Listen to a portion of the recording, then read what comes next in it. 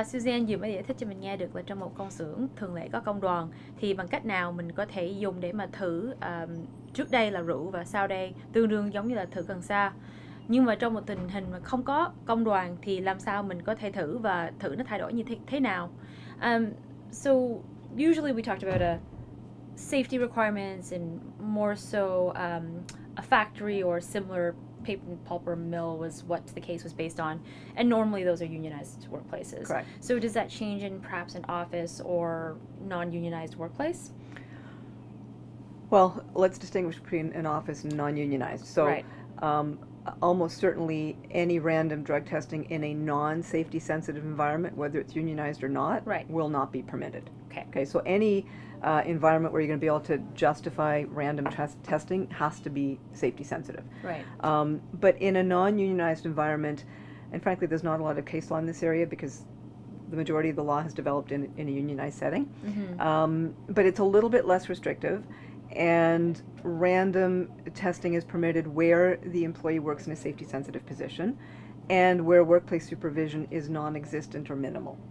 Um, so, in a non-unionized environment, an employer does not have to show that there's a general problem of substance abuse in the workplace prior to putting in testing policies in order to implement random testing, which Okay. it does have to prove in a unionized environment. right Um, and if we look at the most recent uh, Human Rights Commission policy, which dates from April of 2016, uh, it states that random on the job testing should only be done where a link's been established between impairment and the performance of job duties, um, such as in the case of employees who are in safety sensitive positions, uh, where the employer is able to demonstrate risk in the workplace and that staff supervision is minimal or non existent. So, I mean, does that mean that if you just have a high analysis, high computation job that is being affected, that doesn't meet the requirements? It has to also contain these additional.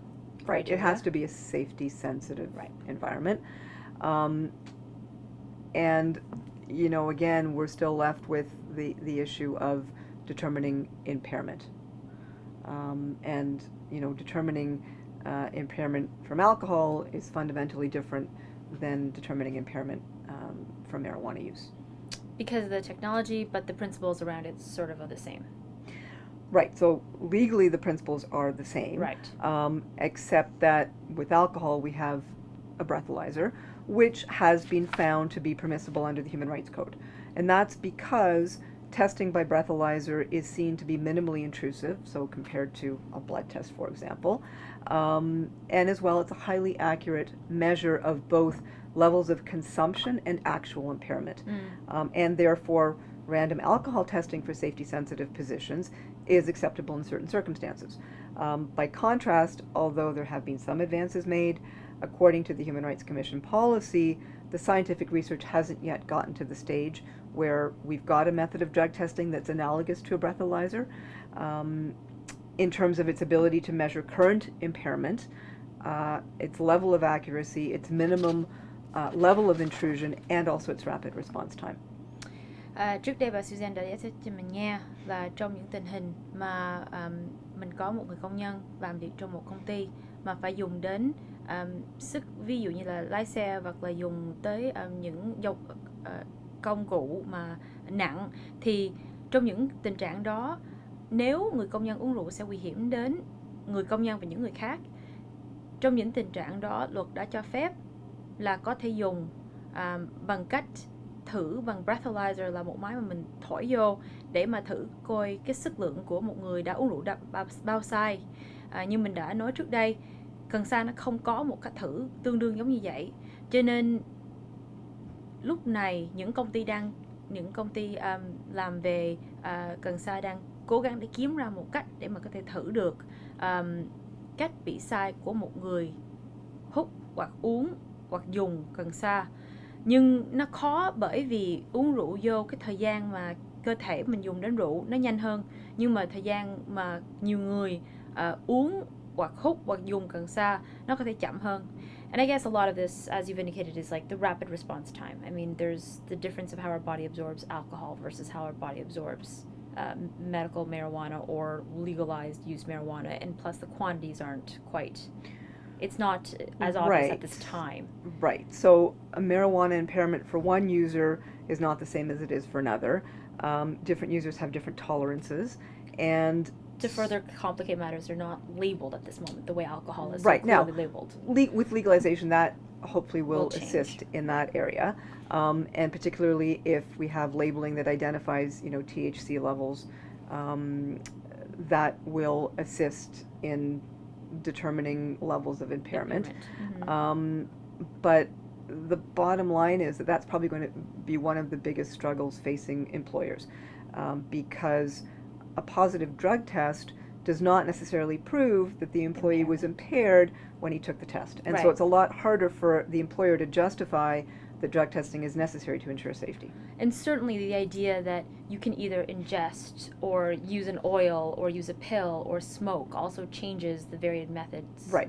by Levels which your body right, Right. absorbs and how impaired you become. Yes. Um, whereas I guess by and large, as far as I'm concerned or know of, mostly people just ingest by drinking alcohol. Correct. Yeah. Yeah, the methods of ingestment are different.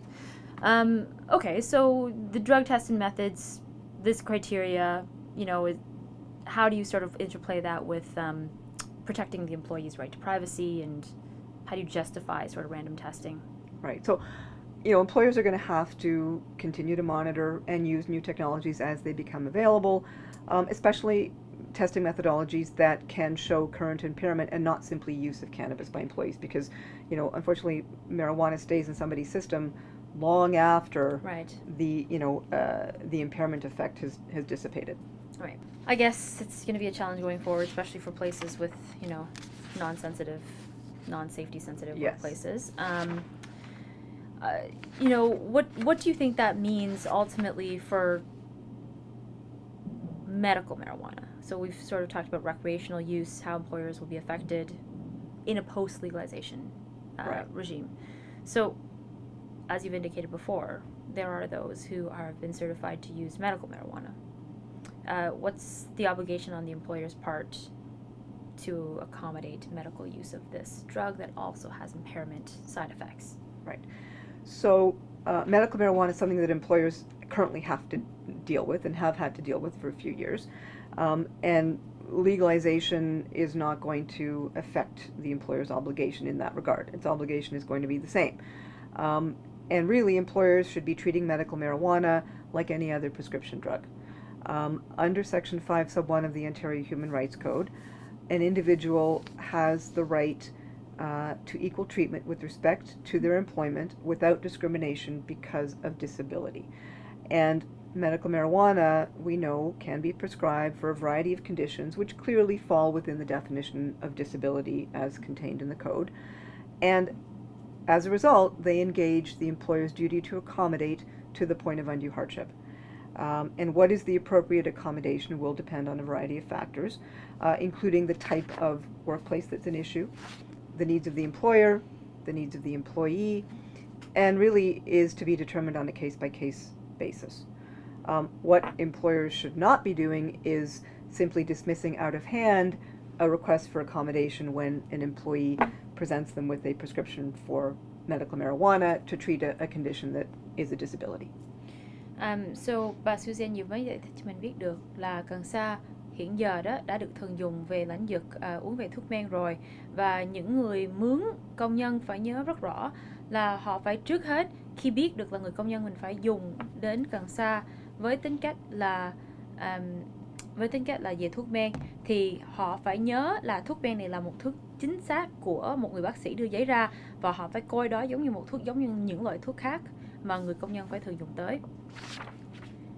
So you just indicated that there is a duty to accommodate à, và những người công nhân những người công nhân mà cần thiết đến mình phải suy nghĩ đến cách nào mình có thể giúp họ để có thể làm việc trong công xưởng của mình nếu họ có giấy bác sĩ đàng hoàng để dùng đến gần xa.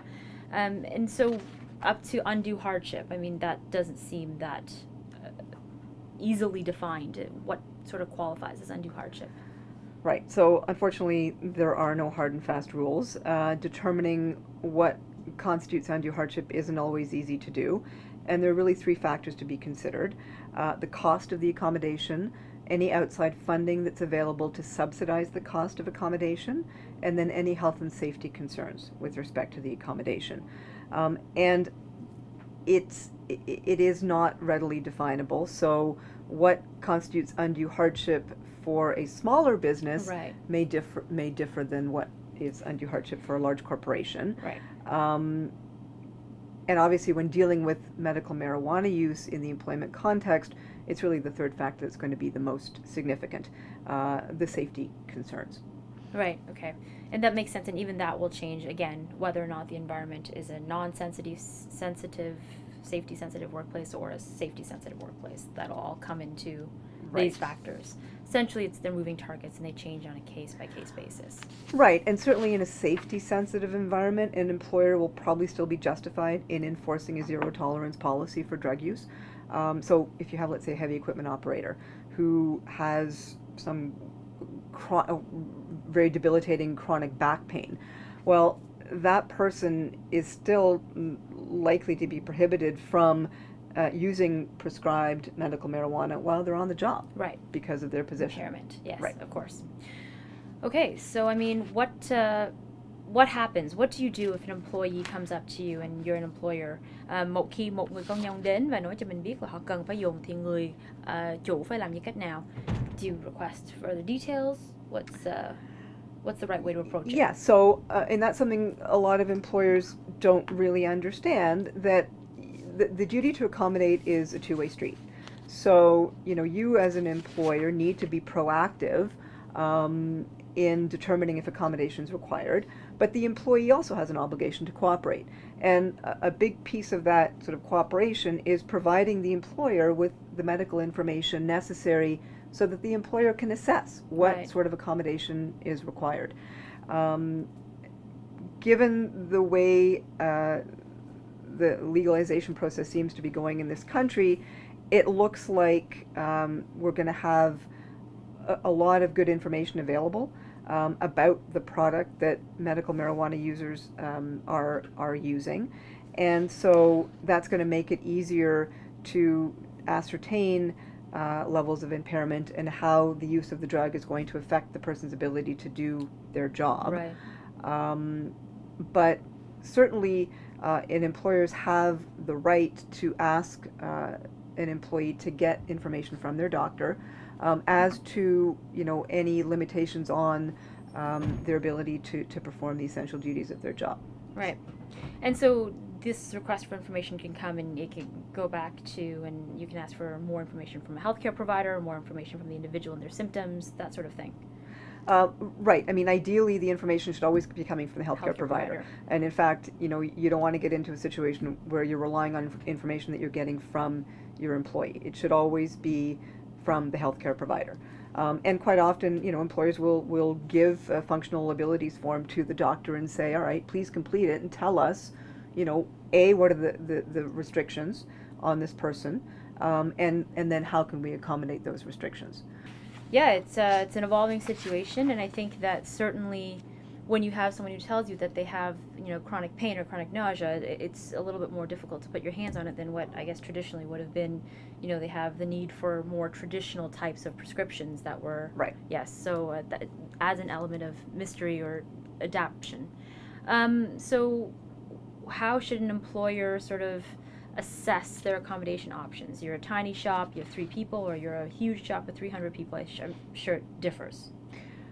Um, it does, although you know, I mean, there are still certain sort of um, consistent uh, criteria to consider. I mean, accommodation can take a variety of forms. Um, you know, if we're talking medical marijuana, it could involve setting aside a private area so that the employee can consume the cannabis in private, away from the customers of of the uh, the enterprise Sure. um, permitting the employee to take regularly scheduled breaks, for example, in order to ingest or smoke uh, the cannabis. Um, requesting the employee to maybe ingest an oil or an edible as opposed to smoking the cannabis. Odorous, yeah. Right. right. And then obviously asking the employee to store the drug in a locked or sealed area. Um, for example, requiring the employee not to be uh, in uniform in public view while smoking. Um, but again, it, it's, it's also important to, to understand that even if the employer comes to the, the conclusion that accommodating the person in their current position will cause undue hardship, that doesn't necessarily end the inquiry. So, in that type of scenario, the employer may still be obligated to consider other options. So, for example, temporarily reassigning the employee to another uh, job, um, modifying the employee's schedule, uh, or even allowing the employee to take a temporary leave of absence. And I guess then there's the final bit, which is what happens if, again, akin to alcoholism, you have an addicted employee. Right.